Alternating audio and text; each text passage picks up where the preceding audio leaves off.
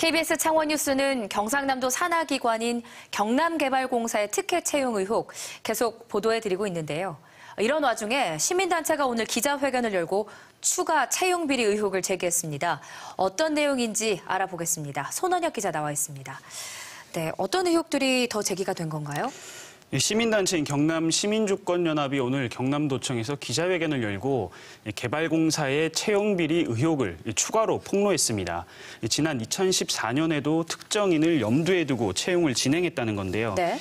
당시 개발공사 박모 사장의 지인 등 3명에게 필기시험 답안이 사전에 전달됐다는 내부자 제보가 있다는 겁니다. 그 특정인에게 미리 답을 다 알려줬다.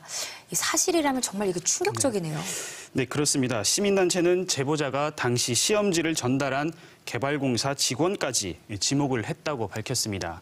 시민단체 기자회견 내용 잠시 들어보겠습니다. 확인은 해봤습니다. 해보는 형식은 공개 경쟁으로 돼 있는데 실질 실질적으로 내부 채용할 때 이미 그 채용할 사람 다 정해놓은 제한 경쟁을 했다는 말이죠. 이 제보해 준 분이 그러면 이렇게 정해놓은 세 명은 최종적으로 붙은 겁니까? 네, 현재 경남개발공사에 재직 중인 것으로 확인됐습니다. 그런데 그 경상남도가 산하기관에 대해서 정기적으로 감사를 하잖아요. 근데 이런 상황 같은 경우는 적발이 안 된 건가요?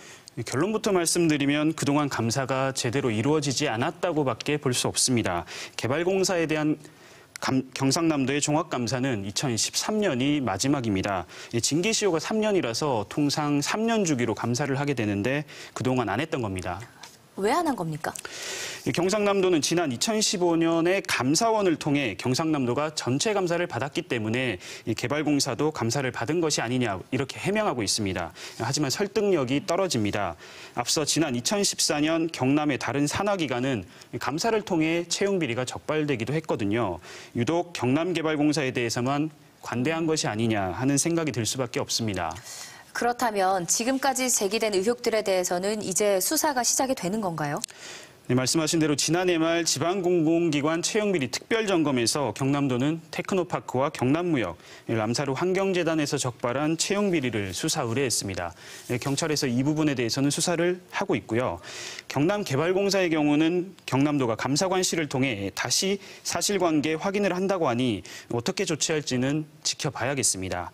네, 또 경상남도 산하공공기관을 단체장의 농공행상을 위한 창구로 쓰이는 것을 근절하기 위해서는 경남 지역 공공기관에 대한 이 추가적인 채용 비리 감사도 필요해 보입니다. 네.